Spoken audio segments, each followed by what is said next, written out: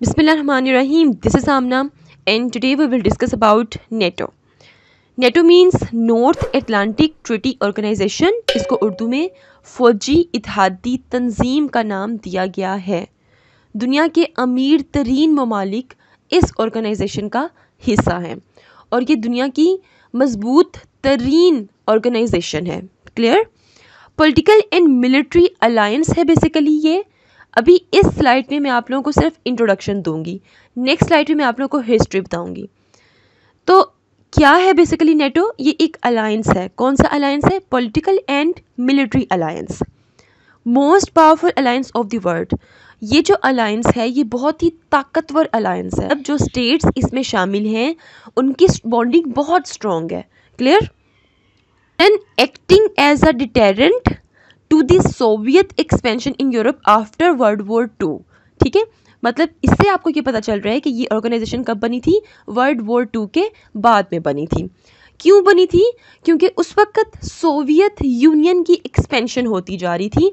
अगर आप लोगों ने मेरी कोल्ड वॉर वाली वीडियो नहीं दिखी है तो कोल्ड वॉर वाली वीडियो लाजमी है। उसमें मैंने आप लोगों को सब बताया हुआ है कि वर्ल्ड वॉर टू के बाद भी एक वॉर हुई थी, जिसका नाम कोल्ड वॉर था। और दो तरह की आइडियोलॉजीज़ जो उनसे थी, वो दुनिया में एक्सपैंड होती जा रही थी। एक कम्युनिस्ट आइडियोलॉजी और दूसरी कैपिटलिस्ट आइडियोलॉजी ठीक है? कम्युनिस्ट आइडियोलॉजी किसकी थी? सोवियत यूनियन की थी। अब अमेरिका को ये खदशा था कि कहीं सोवियत एक्सपेंशन बहुत ज़्यादा ना होती जाए। इसलिए उन्होंने एक ऑर्गेनाइजेशन बनाई, जिसमें डिफरेंट जो स्टेट्स थे, उसका हिस्सा बनते गए और वो स्ट्रॉन्ग होते गए, ठीक है?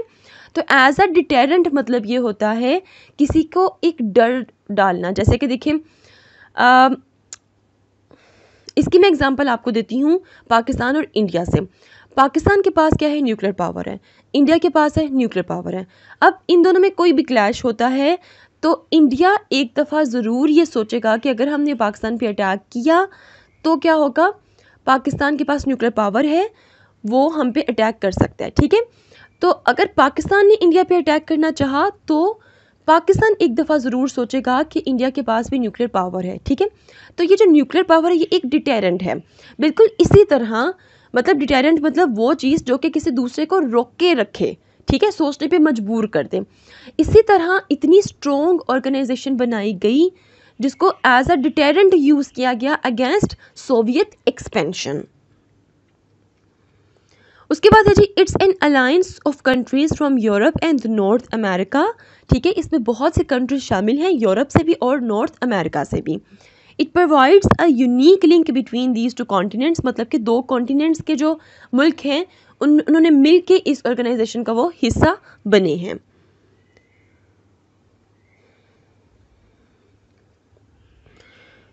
Now let's talk about history of NATO NATO कब बनी थी वो देखते हैं.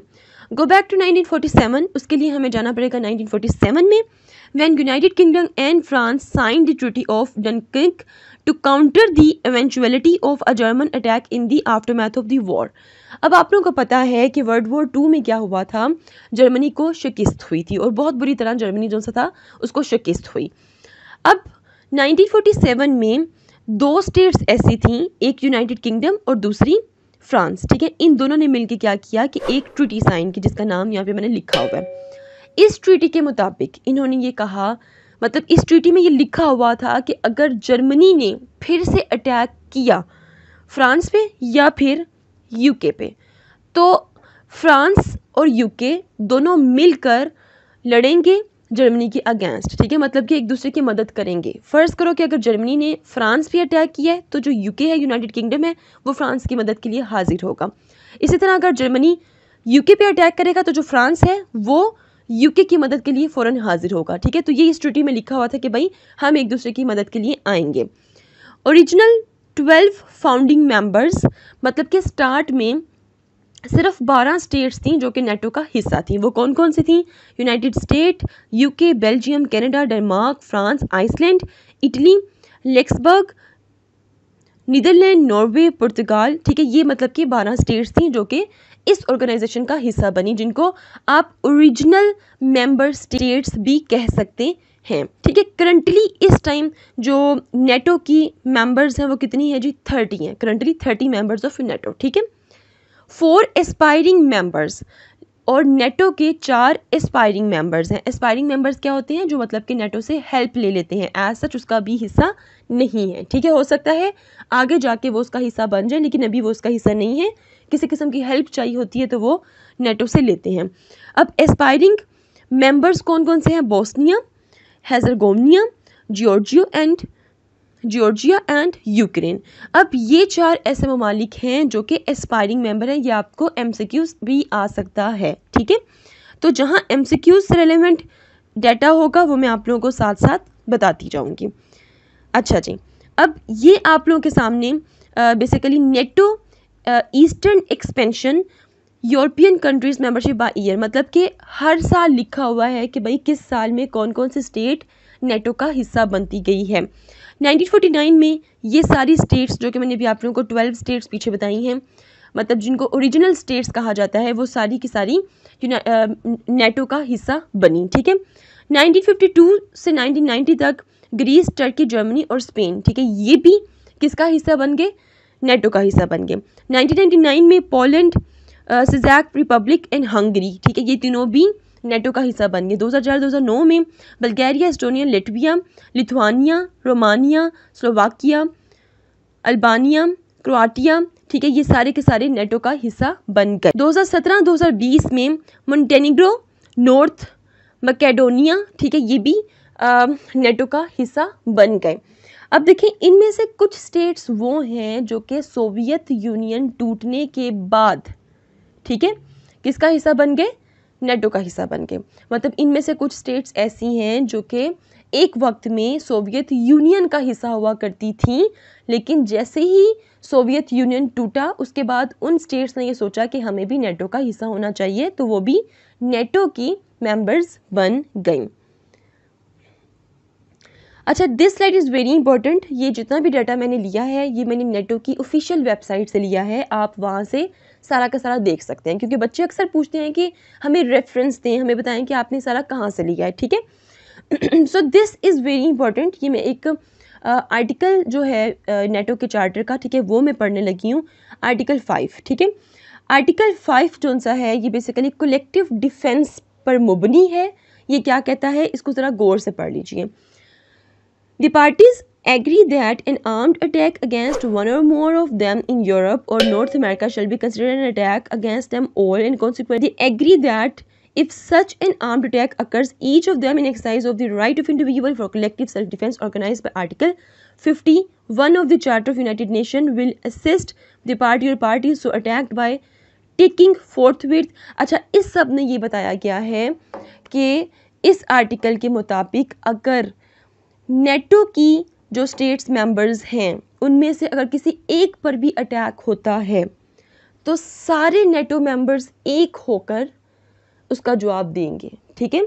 मतलब कि एक पर अटैक होना ऐसा है कि आपने सारी नेटो स्टेट्स पर अटैक किया है, और जो रद्द अमल आएगा, जो फीडबैक आएगा, जो कॉन्सिक्वेंसेज आएँगे, वो फिर उन सारी स्टेट्स की तरफ़ से आएँगे।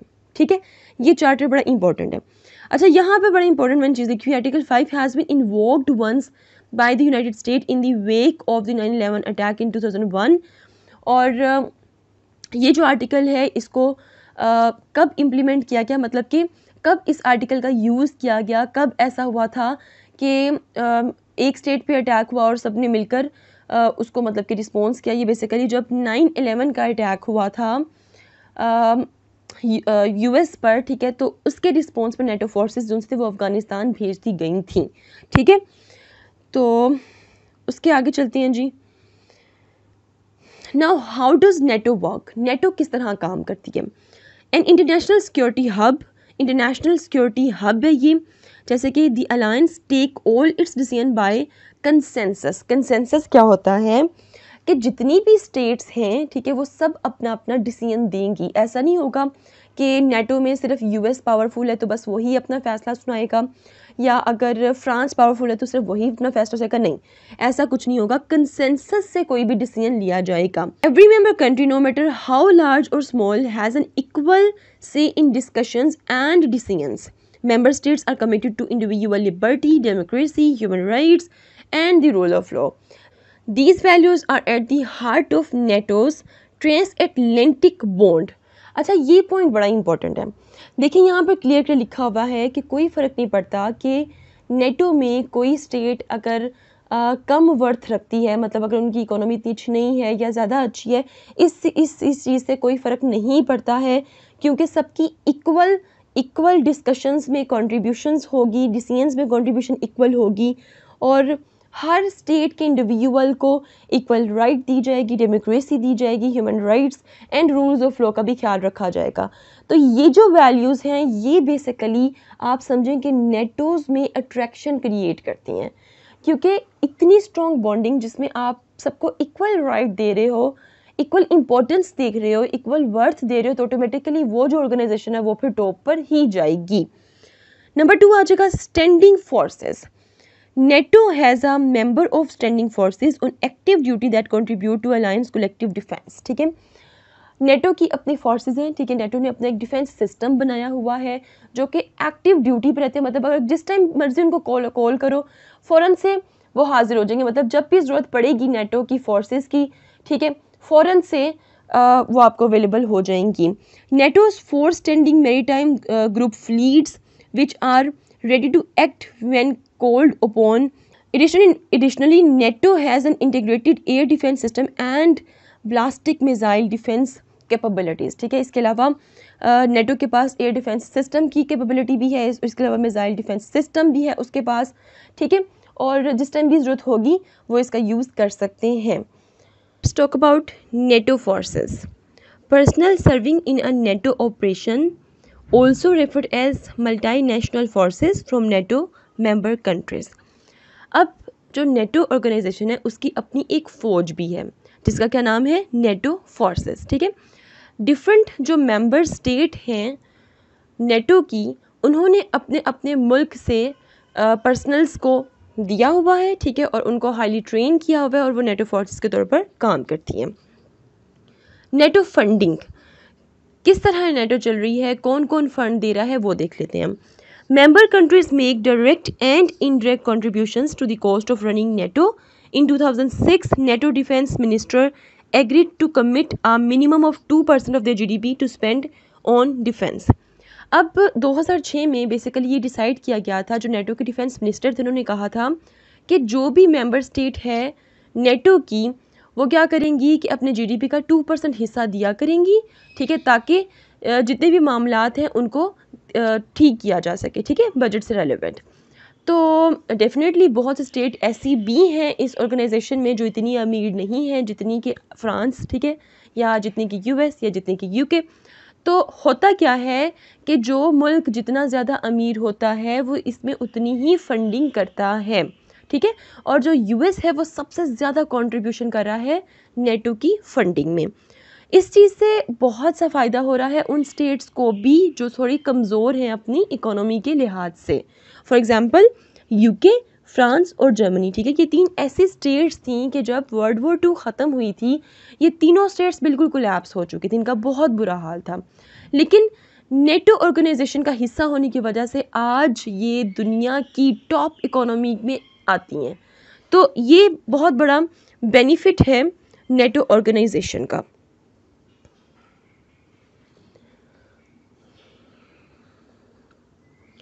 This point is very important crisis management alliance aided to uphold international peace and security अब ये जो ऑर्गेनाइजेशन है ये जो अलायंस है ये बेसिकली इंटरनेशनल पीस और सिक्योरिटी में भी बहुत ज़्यादा हेल्प करती है जैसे कि 1995 में NATO help to end war in Bosnia एक वॉर चल थी बोस्निया हर्जगोवनिया में ठीक है और वहाँ पर बेसिकली नेटो फोर्सेस ने वहाँ जाकर इम्प्लीमेंट किया पीस एग्रीमेंट 1999 में NATO help the in 1999 NATO help to stop mass killings and expulsions in Kosovo NATO also delivered relief supplies to Pakistan after the October 2005 earthquake. 2005 के ज़लज़ले में NATO force ने पाकिस्तान में भी रिलीफ सप्लाईज प्रोवाइड की थी। इसके अलावा cooperative security threats like terrorism piracy cyber crime proliferation of weapons no no border ठीक है? अब देखो, इस तरह के जो जितने भी प्रॉब्लम्स हैं टेररिज्म का साइबर क्राइम का, ये पूरी दुनिया में है। ये नहीं कि सिर्फ़ पाकिस्तान में या इंडिया में या चाइना में नहीं, ये पूरी दुनिया में ये चीज़ें हैं, ठीक है? That's why NATO has develop a global network of security partners including national U N इसलिए जो नेटो है, ठीक है, ये चाहता है कि हम अपनी फोर्सेस को इंटरनेशनल लेवल पर भी इंट्रोड्यूस करवाएँ, ठीक है, और करवाया भी है, ठीक है, और बहुत सी इनको सपोर्ट हासिल है इंटरनेशनल ऑर्गेनाइजेशंस की भी, ठीक है? जैसे कि United Nation power of NATO NATO कितना स्ट्रॉन्ग है? Thirty nations of NATO produce more than fifty percent of the world's gross domestic product दुनिया का टोटल जो जीडीपी है, ठीक है?